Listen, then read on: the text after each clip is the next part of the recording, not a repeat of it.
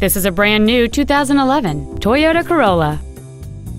It has a 1.8 liter four cylinder engine and an automatic transmission. All of the following features are included cruise control, a rear window defroster, a keyless entry system, a CD player, a passenger side vanity mirror, a traction control system, an anti lock braking system, side impact airbags, and folding rear seats. With an EPA estimated rating of 34 miles per gallon on the highway, this vehicle does not compromise its fuel efficiency for size, comfort, or fun. Stop by today and test drive this vehicle for yourself.